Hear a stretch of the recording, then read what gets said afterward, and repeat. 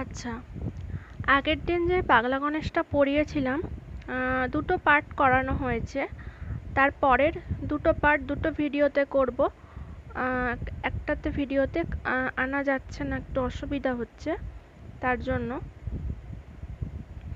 আচ্ছা প্রথমেই বলি, আগে যারা নতুন বা যারা দেখছেন, তারা সাবস্ক্রাইব করবেন লাইক দেবেন ফলো করবেন এবং শেয়ার করবেন, তাতে পরবর্তী ভিডিও করতে আমার অনেক বেশি সুবিধা হবে বা আমার ভালো লাগবে এই ভিডিওটা করতে। তো সেই হিসাবেই বলছি যে অবশ্যই আপনারা সাপোর্ট দেবেন চ্যানেলটাকে তো আমি সরাসরি চলে যাচ্ছি।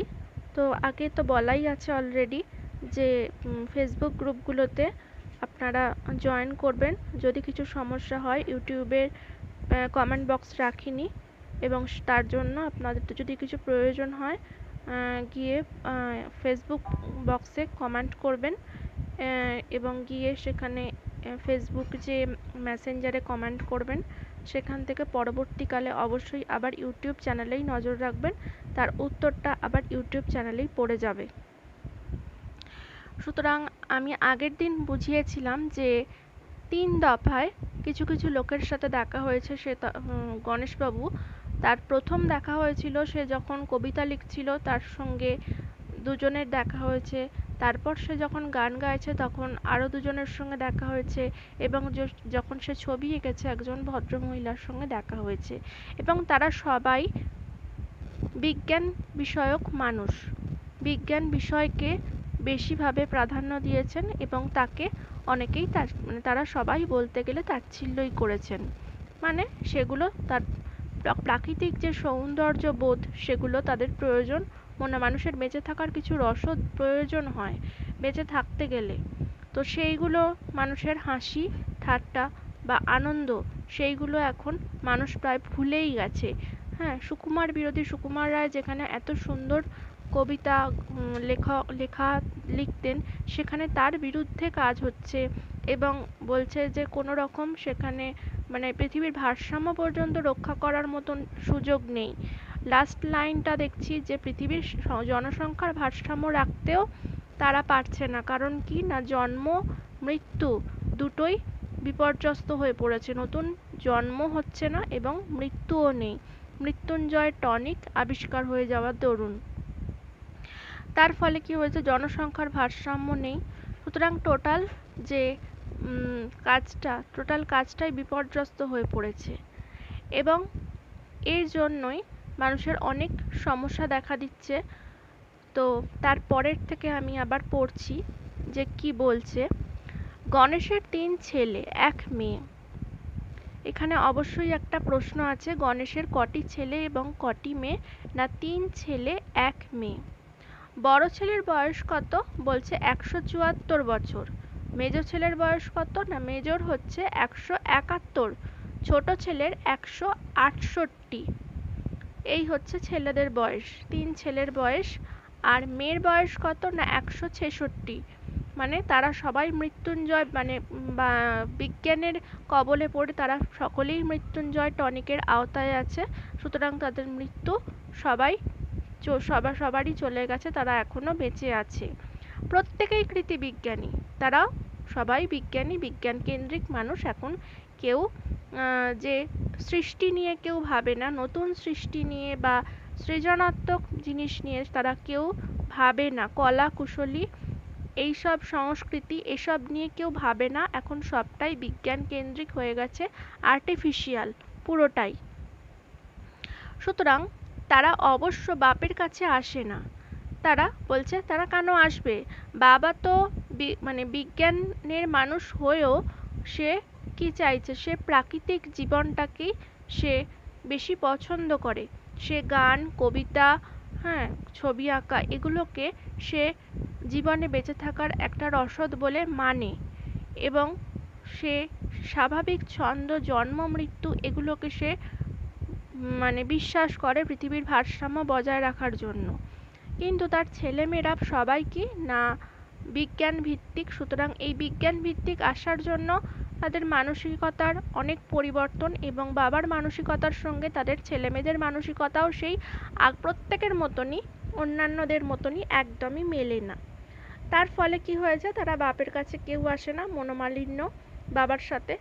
অন্তত গত একশো বছরের মধ্যে নয়, গত মানে একশো বছরের মধ্যে ছেলেমেয়েরা কেউ বাবার সাথে দেখা করতেই আসেনি। এমন পরিস্থিতি হয়েছে। গণেশ তাদের মুখশ্রী ভুলেই গেছে। বলছে, তারা, তাদের ছেলে মেয়েগুলোকে কেমন দেখতে তাই মনে নেই। কারণ ছেলেমেয়েরা কেউ আসে না বাবার কাছে, সুতরাং ছেলে মেয়েদের মুখগুলোকেই ভুলে গেছে। গণেশের স্ত্রী ক্যালিফোর্নিয়ার মহাকাশ গবেষণা কেন্দ্রে কাজ করতেন।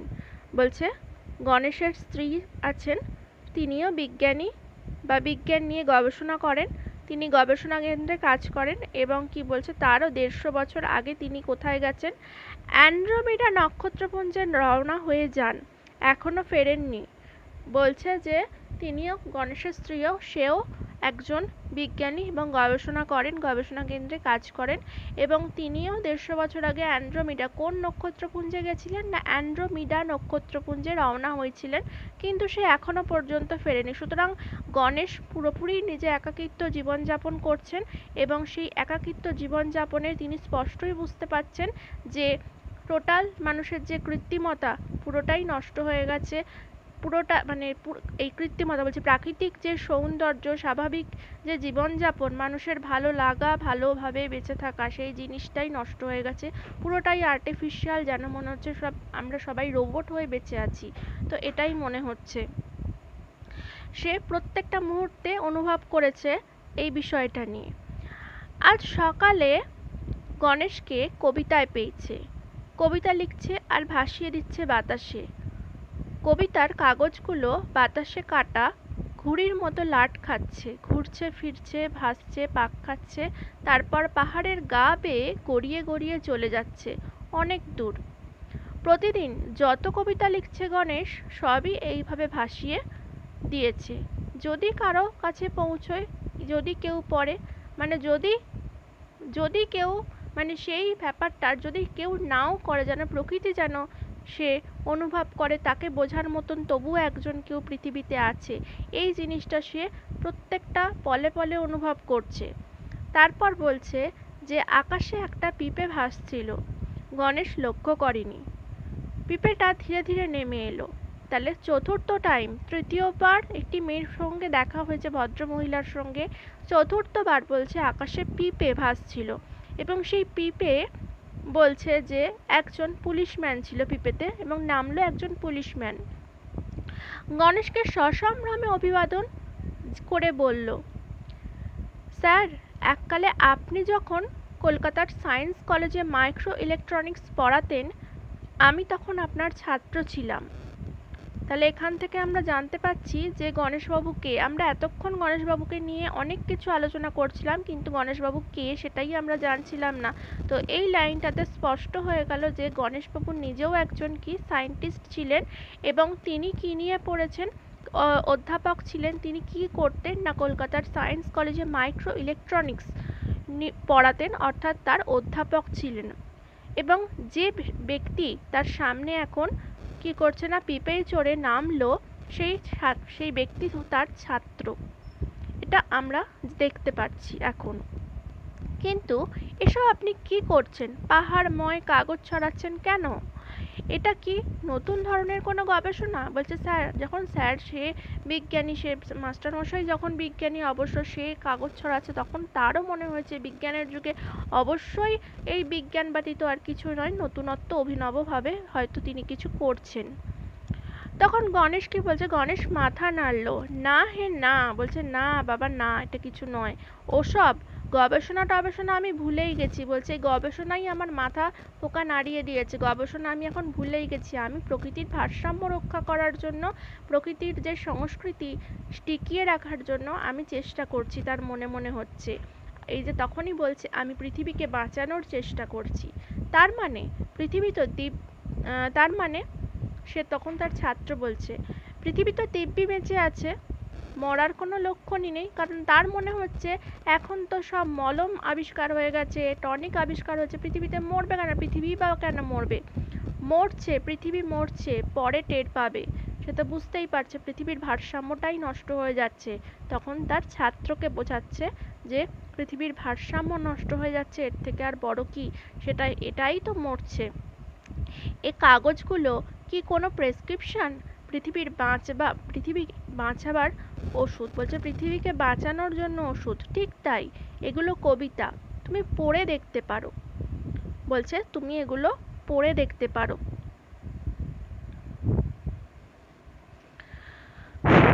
তারপর বলছে যে, লোকটার মাথায় হেলমেট খুলে মাথা চুলকে হতবম্বের মতো বলল, কবিতা বলছে হ্যাঁ কবিতা পড়ো।